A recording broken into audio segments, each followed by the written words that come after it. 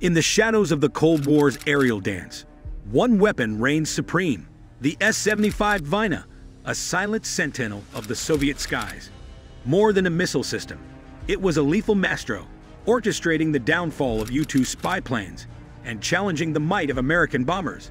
In this enigmatic narrative, the S-75 emerges as the deadly waltz partner in a geopolitical tango, its thunderous echoes rewriting the rules of aerial warfare.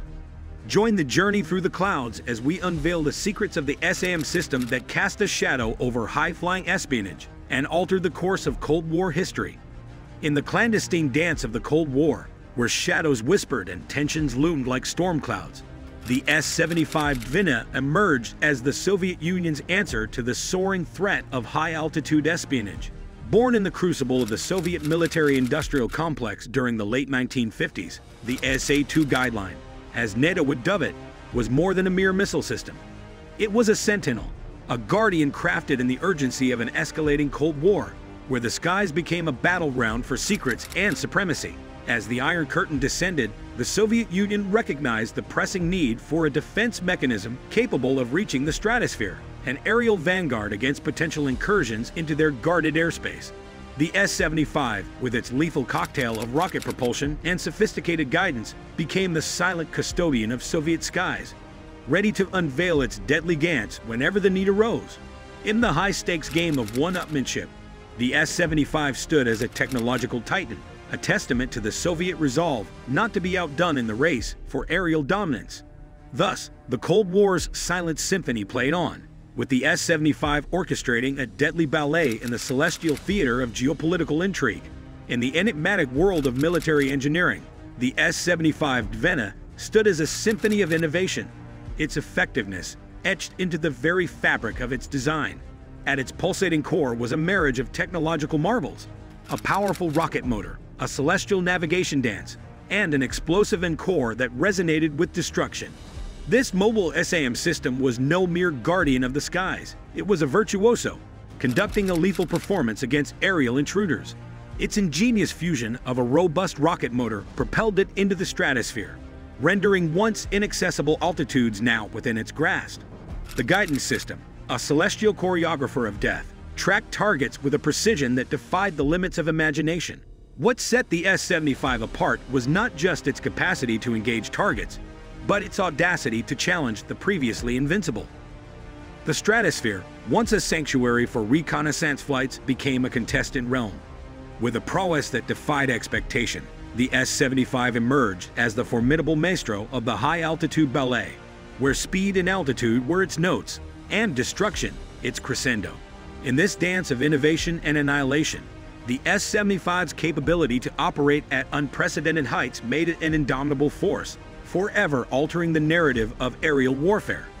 In the cloak and dagger realm of Cold War espionage, the S-75 Dvina etched its name in history with a thunderous exclamation mark on May 1, 1960, the day of the infamous U-2 incident, as the United States sought to unravel the enigma of Soviet military capabilities.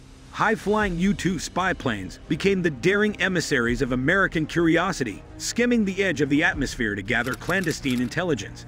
However, fate took a treacherous turn as a Soviet S-75 missile, commanded by a crew of expert operators, soared skyward. In a chilling ballet of technology and strategy, the missile found its mark, bringing down the U-2 piloted by Gary Powers in a spectacular display of Soviet prowess. The incident was more than a clash of steel and wings. It was a seismic rupture in Cold War dynamics. The shattered U-2, and its captured pilot became symbols of a perilous cat and mouse game played in the skies. The S-75's deadly accuracy not only unveiled the potency of Soviet air defenses, but also sent shockwaves through diplomatic corridors, ratcheting up the already tense Cold War atmosphere. The U-2 incident wasn't just a single event, it was the crescendo in a symphony of geopolitical tensions, forever marking the S-75 as the silent sentinel that could shatter the illusions of invincibility. In the tense theater of the Cuban Missile Crisis, the S-75 Dvina stepped into the spotlight once more in 1962, casting a shadow of uncertainty over the world. As the Cold War's intensity reached a fever pitch, the Soviet Union played its strategic trump card, deploying the S-75 batteries to the palm-fringed shores of Cuba. The island, already a focal point of geopolitical contention, became a high-stakes chessboard, and the S-75 stood as the queen, poised to defend against potential U.S. airstrikes. The world held its breath as the S-75, a silent guardian in the tropical shadows, took center stage in a high-stakes aerial ballet. It challenged the presumed supremacy of the U.S. Air Force. The very presence of these formidable SAM systems altered the strategic calculus of both superpowers, transforming the Caribbean skies into a tense battleground where the slightest misstep could plunge the world into nuclear catastrophe. The S-75's deployment in Cuba wasn't just a military maneuver. It was a bold statement, a punctuation mark in the narrative of Cold War brinkmanship. As the standoff unfolded, the S-75 became the unsung arbiter of peace, a technological titan influencing the delicate balance that teetered on the precipice of global conflict. The success of the S-75 Dvina in the stratospheric showdowns of the Cold War sent shockwaves through the corridors of Pentagon power. It wasn't just a missile system, it was a gauntlet thrown, demanding a revaluation of U.S. aerial strategies.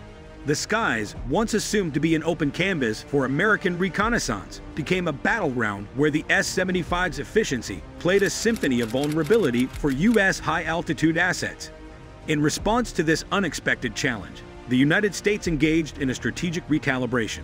American aircraft designers, spurred by the urgency of countering the S-75 threat, embarked on a technological odyssey. The sleek contours of reconnaissance planes transformed, shedding vulnerability and adopting an agile armor against the silent thunder of Soviet SAMs. Tactics, once predictable, now pirouetted in the air, weaving a complex choreography to outsmart the vigilant eyes and deadly reach of the S-75. Yet the dance persisted, a cat and mouse ballet in the skies. The S-75's success spurred not just innovation in the US, but a relentless pursuit of advantage on both sides. The arms race, ever evolving, saw each move countered, each counter countered again. In this perpetual contest, the S-75 wasn't just a weapon. It was a catalyst for an era where the strategic tango between offense and defense shaped the destiny of nations. The U-2 incident of 1960, with Gary Powers at its reluctant epicenter, was a seismic shockwave in the delicate tapestry of Cold War politics.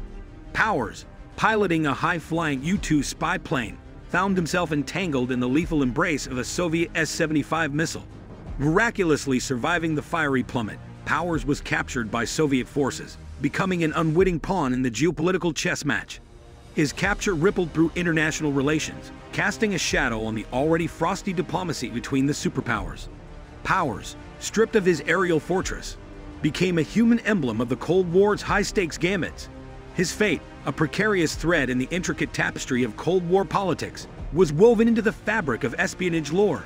The U-2 incident was more than a momentary clash in the skies. It marked a turning point in intelligence-gathering strategies, the vulnerability of traditional reconnaissance platforms was laid bare, prompting a revaluation of tactics. The need for more advanced, elusive platforms became glaringly apparent, leading to the evolution of stealth technology and cutting-edge aerial espionage techniques. In this crucible of conflict, Gary Powers unwittingly became a catalyst for a new era of covert reconnaissance, where the skies were no longer an open book, but a labyrinth of secrets guarded by the ghosts of Cold War intrigue.